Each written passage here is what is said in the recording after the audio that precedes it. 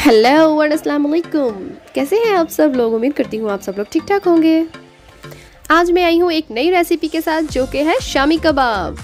ये रेसिपी जो है, ये है मेरी मामा की और मामा के हाथ के कबाब। I love it video end तक लाजमी देखिएगा, ताकि कुछ भी मिस ना हो आपसे। और हाँ अगर आप मेरी इसी तरह की अच्छी अच्छी मज़ीद वीडियोस देखना चाहते हैं तो मेरा चैनल सब्सक्राइब करना मत भूलिएगा। हाँ जी तो वीडियो देखनी है आपने पूरी, ताकि कोई भी इंपॉर्टेंट पार्ट आपसे मिस ना हो जाए। अब बातों को करते हैं ख़त्म और चलते हैं काम की तरफ़। एक कप चने की दाल को हमने अच्छे से भिगो लिया था। हाफ़ के जी हम उसमें बीफ ले रहे हैं। ये आ रहे हैं बाकी इंग्रेडिएंट्स सब्ज़ मिर्च, एक छोटी साइज़ की प्याज, सूखा धनिया, ज़ीरा और लहसुन और अदरक।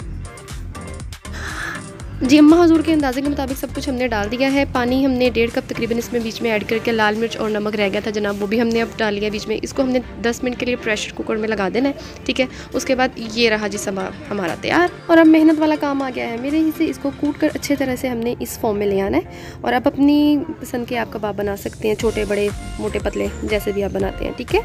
ये तो एग में डिप करने के बाद हमने इनको इस तरह से फ्राई कर लेना है। कुछ दिन के लिए ना आपको मेरी आवाज़ बर्दाश्त करनी पड़ेगी क्योंकि बच्चे की तबीयत ठीक नहीं है। अच्छा जी, यूँ फ्राई कर लिया हमने। बस, और क्या करना था? बस कुछ भी नहीं। खाओ, पियो, ऐश करो।